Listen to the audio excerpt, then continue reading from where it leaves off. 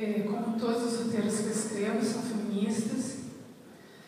A gente sabe, nós mulheres sabemos o quanto é difícil ser mulher numa sociedade violenta, patriarcal, machista, violenta, repressora, agressiva, castradora, que não nos permite ser nada.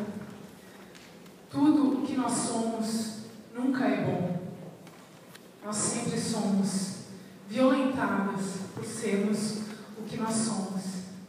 Então a Bárbara é uma personagem que foi, digamos assim, extraída do ideal de mulher das revistas femininas, que para mim é o que há de mais podre da indústria é, cultural voltada para as mulheres.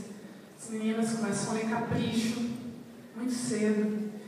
E muito cedo elas aprendem que nada nelas é adequado. O tamanho do pé delas não é adequado. O formato da bunda delas não é adequado. A forma como elas riem não é adequada. A forma como elas falam não é adequada. A maneira como elas se comportam não é adequada.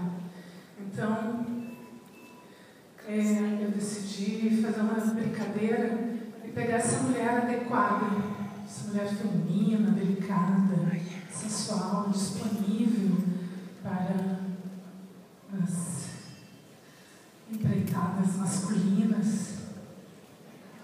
E, bem, na minha visão, a mulher que sairia do sonho idealizado de mulher de uma sociedade machista só pode ser um monstro. Então, esse monstro que eu queria apresentar para vocês